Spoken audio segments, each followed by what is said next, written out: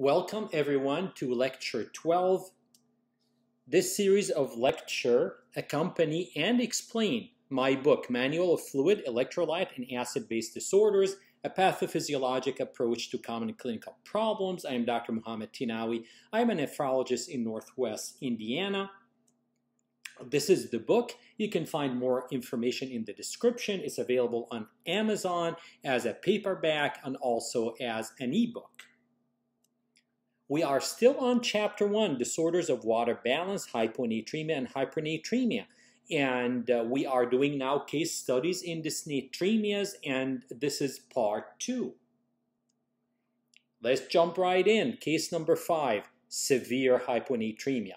Here we have a 60-year-old man who weighs 80 kilogram presenting with a seizure. Serum sodium is very low, 105.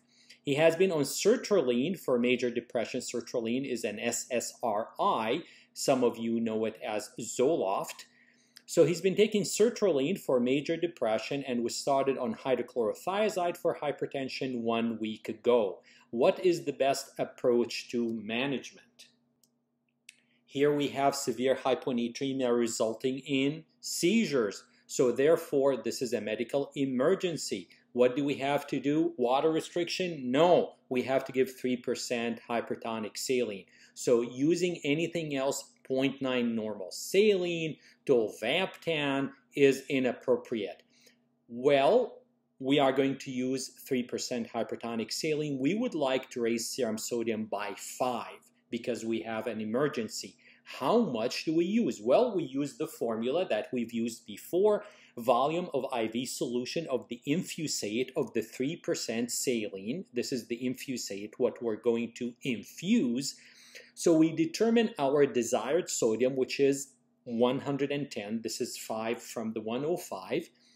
And we know how much sodium in the solution we're giving is 513. I told you before, remember uh, the 513. This is the content of sodium in 3% saline.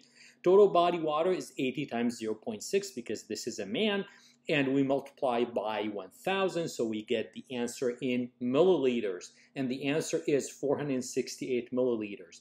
Since this is an emergency, since the patient is having a seizure, we're going to give the first 100 mLs of this solution over 50 minutes, okay, due to seizures. Now, the remainder, the other 365, we will give slowly over 10 hours, uh, maybe at a rate of 35 mLs an hour. Uh, we, and, and then we're going to check serum sodium every two to four hours. Um, like we said before, if the seizures continue, we can give another 100 mLs over 15 minutes. The goal will not change we would like to raise sodium by 6 to 8 in the first 24 hours no more than that okay? And in in the next uh, 24 hours another 8 and 10 is definitely the limit for the first 24 hours. Case number 6 hyponatremia due to carbamazepine this is very common. Carbamazepine what does it do? It causes SIADH okay 55-year-old woman with chronic hyponatremia due to carbamazepine. She presents with a fall. Serum sodium is very low, 120. Serum osmolality is 256. So this is hypoosmolar hyponatremia, like what you would expect with SIADH. Urine sodium is 45. and SI, SIADH usually is above 40. It's high. So it's 45. Urine osm is high, 526. So it all fits SIADH from the carbamazepine.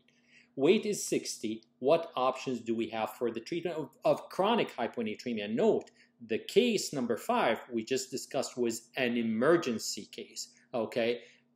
Here is just chronic. The patient is basically asymptomatic except for the fall.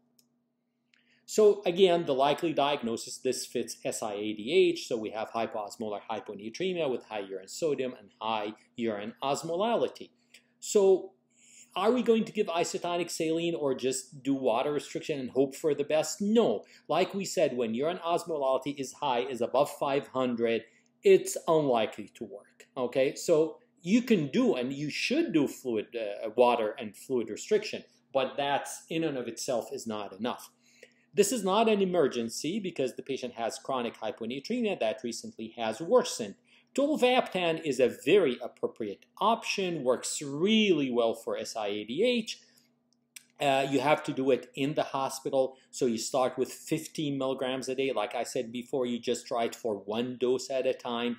And the patient, while on tolvaptan, should have free access to water. Don't give it to someone who's comatose, okay?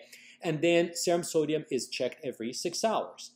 Alternatively, you can easily use 3% saline, and if we calculate using the same equation I mentioned in case number 5, we need 292 ml to raise serum sodium by 5, and this should be infused slowly 20 to 30 ml an hour. No need to go any faster than that. This is, again, chronic hyponatremia. Case number 7, hyponatremia and excessive water drinking. Here we have a 40-year-old man with paranoid schizophrenia. He admits to excessive water drinking. He presents with gait disturbance and a serum sodium checked in the emergency room and it was found to be 122. He was started on fluid restriction 1200 ml a day and his serum sodium was checked every 4 hours.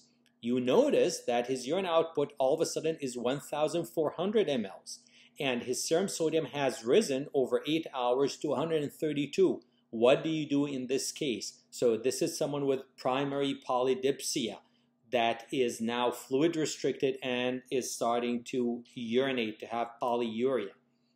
So this patient with primary polydipsia was placed on fluid restriction. When that happened, uh, this patient antidiuretic hormone is already suppressed from all that water intake and now he's just urinating. It's a similar situation to someone with diabetes insipidus. So here we have water diuresis that leads to overcorrection of hyponatremia. So what do we do? Okay, anything you're doing to correct hyponatremia has to stop. So you stop the saline if you're giving saline. If you're giving 3%, you stop that. If you're giving tolvaptan, you stop it. You take the patient out of fluid restriction. Let them drink you start D5W at 3 ml per kilo per hour, and you need to give IV desmopressin 1 to 2 mics every 8 hours until we reach our goal. So what was our starting serum sodium? Well, it was 122. Add to that 6 to 8, so you get 128, 130. Once you reach that goal, you can stop. But as long as the patient is urinating, continue to replace. So here, this is an example when you really need to check serum sodium every two to four hours. You need to stay on top of this, otherwise you can end up with severe overcorrection of hyponatremia. So again, when you get someone with primary polydipsia, be careful about fluid restriction. Okay, take it easy. It's it's chronic. You don't need to correct fast. Maybe don't use fluid restriction. And if if you do, uh, limit it. Don't do it like 1,200 ml per 24 hours. Maybe two liters a day is fine because those guys maybe they're they're drinking five, six, ten liters a day. Case number eight. Here we have hypernatremia and enteral nutrition. 72-year-old man was admitted to the ICU with pneumococcal pneumonia. He was intubated, started on mechanical ventilation, and then three days later he was started on tube feeding, enteral nutrition. He was given free water, 50 mLs uh, of free water down his NG tube every six hours. His serum sodium rose gradually from 142 to 155 over the next three days. What do you do for his hypernatremia? This patient is critically ill. He has no free access to water. He's not going to get up and drink water if he's feeling thirsty. So we commonly see hypernatremia in patients on enteral nutrition. So what do we do? Well, we increase free water. So he's getting 50 ml over six hours. Well, change that maybe to 200 mLs every four to six hours and see what happens. If this is ineffective, well, start D5W. How do you calculate? Like we said, you calculate free water deficit and you add insensible losses and uh, electrolyte free water clearance, and then you do it accordingly. And you can split the volume between oral and between IV. Case number nine hypernatremia in an older adult. Here we have an 85 year old woman with advanced dementia sent to the emergency department from a skilled nursing facility due to obtundation. Her serum sodium was extremely high, 181. This happens when these patients stop drinking, stop eating, while their loop diuretic furosemide, torsemide is continued. So we have a sodium of 181. Her urine volume is very low because she hasn't been drinking one liter. Urine sodium is 10, urine potassium is 12. She weighs 56 kilograms only. How do we manage her hypernatremia? Let's calculate. First component, what is water deficit? We know her current total body water is 56 times 0.5, so this is 28. Her current serum sodium is 181. We divide that by 140 minus 1, and we get a water deficit of 8.2 liter. Is this the total uh, uh, volume of water needed? No. We have to add electrolyte-free water clearance. And the equation you can see on the screen. You need to know urine sodium, you need to know urine potassium. I explained that in lecture 4 and 5 and I'll provide a link. And we get 0.87 liters. And we add the 8.2 to the 8 uh, to the 0.87 to 0.8, which is insensible losses. And what do we get? Well, we get 9.87 liters. Now, you're not going to give this over one day, of course. You're going to divide this maybe over three to four days. So you're going to start with uh, maybe a D5W 125, 150 mLs per hour, and then you measure the sodium every six to eight hours, and you change your rate accordingly.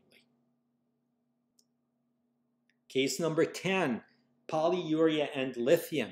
Here we have a 44 year old man with manic depressive disorder. He's been stable on lithium for three years. Now he's complaining of polyuria, frequent urination. Urine collection showed a volume of 3.2. We said anything over 3 liters is what? Polyuria.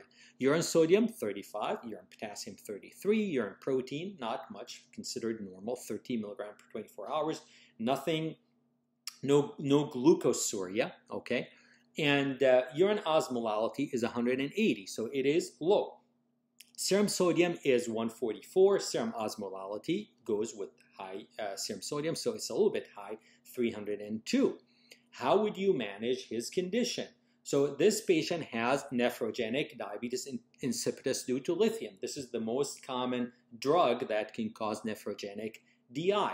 You can see that sodium is at the upper range of normal because he's able to drink. If you cut off his water access, then his sodium will start to rise.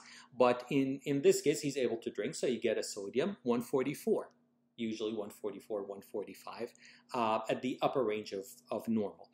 Uh, you can see that urine osmolality is low, like you would expect with, with someone with nephrogenic DI. He's polyuric, urine volume above 3, and there's really no evidence of solute diuresis or osmotic diuresis, and you can tell that just by looking at the urine sodium and urine potassium. Urine sodium 30, 35, urine potassium 33, but if you want to prove that uh, there's no solute diuresis, you can do the calculations. If uh, you calculate the electrolyte-free water clearance, you get 1.7. So about half the urine volume is electrolyte, half water. So really, we don't have a solute diuresis. If you calculate the C-osm, which is the osmolar clearance, you get 1.9 liter.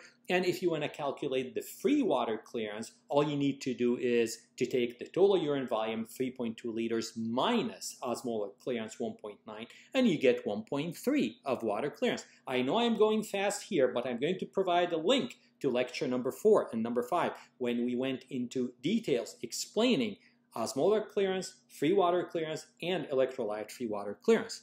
Now, in this patient with chronic nephrogenic DI, we have two options. Either we can find an alternative to lithium, or we can use a amiloride. Amiloride is a weak diuretic. It's a potassium-sparing diuretic, but it has a unique characteristic. It, it blocks the sodium epithelial channel. Okay, and this is the main entry site for lithium in the principal cells of the collecting tubule. So sometimes that's very helpful. And I'm going to stop here, and in the following lecture, we're going to discuss uh, some more interesting cases. See you then.